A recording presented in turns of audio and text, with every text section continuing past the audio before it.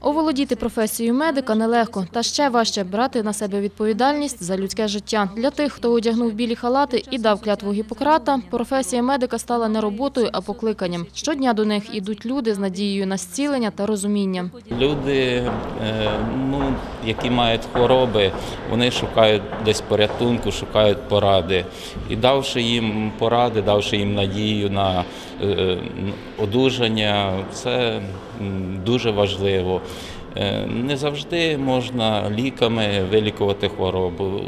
Навіть і добрим словом можна підтримати людину і її внутрішні сили. Здоров'я найцінніший скарб, і саме медики повинні допомагати його оберігати, незважаючи на різні обставини. Бо, як кажуть медпрацівники, як би не фінансували, все одно коштів завжди не вистачатиме, особливо у нинішній, не найкращий час. Нестача в нас є дещо е, в забезпеченні фізкабінет, щоб надати допомогу безпосередньо людям на місці. Е, Потім, ну, в загальному так нас нестач немає. Бензин є. Е, Маємо можливість виїхати за 5 хвилин до хворого, надати допомогу має можливість. Невідкладна допомога є.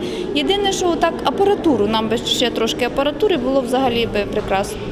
Професія отоларинголога досить важлива, бо тому що має свої певні нюанси в наданні допомоги для людини. Е, єдиний недолік е, сьогодення це ендоскопії, тому що все йде вперед. Е, Все розвивається, і також отоларингологія е, хочеться би, щоб була е, більш досконалішою.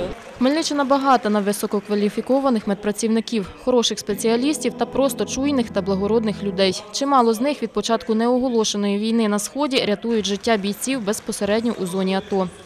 Напередодні професійного свята за сумлінну працю, високий професіоналізм та участь, зокрема, у наданні медичної допомоги в зоні АТО, найкращих працівників галузі краю нагородили почесними грамотами та подарунками від влади.